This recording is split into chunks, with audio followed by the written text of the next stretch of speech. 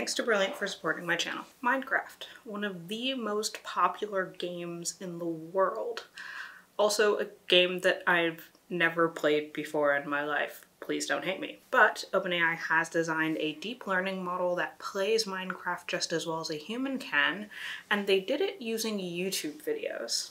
Let's dive in. Welcome back to my channel. If you're new here, I'm Jordan and I make videos about artificial intelligence, machine learning, and grad life as an MIT PhD student. If that sounds interesting to you, definitely consider subscribing. And if there are other papers or models that you'd love to see me cover, leave a comment down below because I'm always looking for interesting research, preferably something that isn't about large language models or transformers, but otherwise, leave a comment. Today we're going to be talking about a method that was recently released by OpenAI in late June 2020 called video pre-training and how they used it to develop a deep neural network that was able to play Minecraft.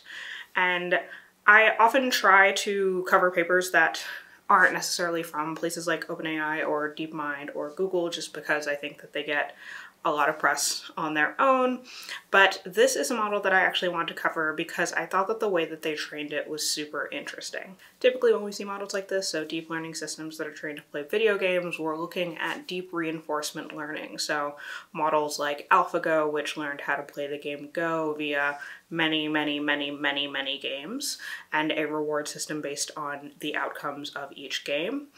This model actually takes a different approach to doing that and takes a different approach to the data used to do that, and I thought that that was pretty cool. So as with all deep learning models and as with ML in general, this model actually starts with people. OpenAI hired contractors to produce the initial data that was used to train what they call an inverse dynamics model.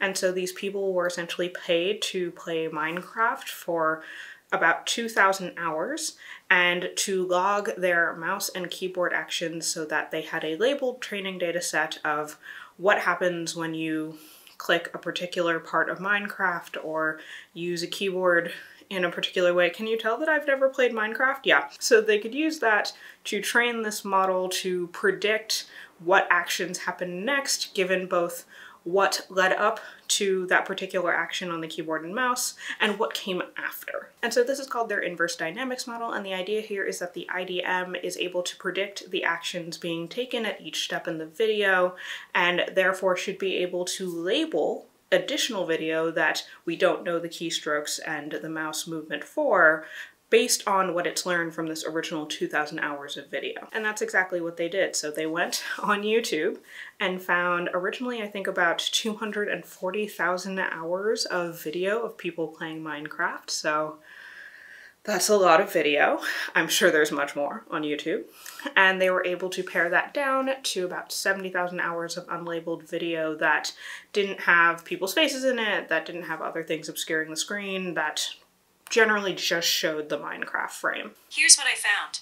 No, Siri. Siri's trying to teach me to play Minecraft. From there, they took the inverse dynamics model and labeled all 70,000 hours of that Minecraft YouTube video data that they collected with the mouse and keyboard actions based on the 2,000 hours of data that they hired those contractors to generate. And using all of that labeled video, they were able to train a video pre-training foundation model to predict what actions should occur, so what mouse movements, what keyboard inputs should happen only based on the past frame. So the model shown everything leading up to the action that it needs to take and then it needs to take whatever appropriate action it's supposed to take. And so it turns out it performs pretty well. It is able to create a wooden log, wooden plank, and then a crafting table under zero shot, so not being prompted with what steps to do and then told to continue that sequence, but just being thrown into a situation and having to do something. From there, they were interested in fine-tuning this VPT model to see whether or not you could make it really, really good at doing some of the initial tasks that one might do in Minecraft, such as building a house.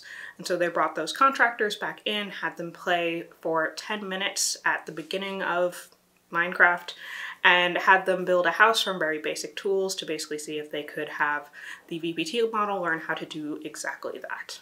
And as one might expect, the fine-tuned model performed a lot better at those initial tasks. This is a log uh, y-axis, so you're not seeing a linear change, you're seeing a log change. and the fine-tuned model, which is in green, performed way better than the original zero-shot model. Lastly, they fine-tuned a reinforcement learning model to see whether or not you could have an RL model get to the point of creating a diamond pickaxe, which again, I do not play Minecraft. And they compared just training a normal RL model to attempt to do this from a random initialization to fine tuning a reinforcement learning model on a VPT model.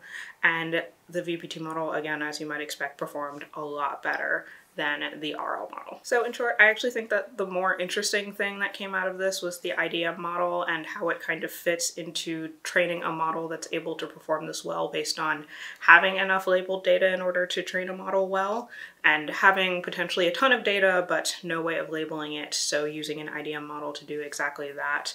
Of course, this all depends on how representative that data that the IDM model is trained on. So if you have an IDM model that is trained on data that isn't representative of the full picture that you're trying to attack, chances are the labeling on your dataset is going to not be correct. We know that from past videos on fairness in AI. But more than that, the reason why this paper caught my eye is actually because I've been wanting to do a video where I train an AI algorithm to play Among Us, but the Among Us API was never released, so I never got around to doing it.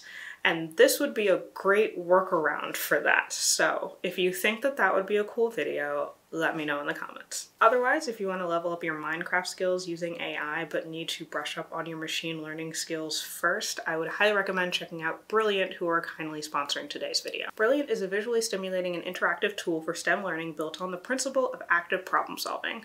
They have an ever-growing catalog of courses in math, science, and computer science that are designed to help you gain a deep understanding of STEM topics in a low-pressure environment. For example, Brilliant has an awesome Introduction to Neural Networks course that will leave you ready to build a neural network yourself once you're finished. And if you're worried that you might not have time, don't worry. Their courses are broken down into bite-sized sections so you can learn whenever you have free time. To get started for free, go to brilliant.org slash Jordan or visit the link in the description and the first 200 people to go to that link will also get 20% off the annual premium subscription. If you want to see me go over other interesting AI ML papers, I will leave a playlist up here. You can follow me on my various socials down here and otherwise I will see you all in the next one.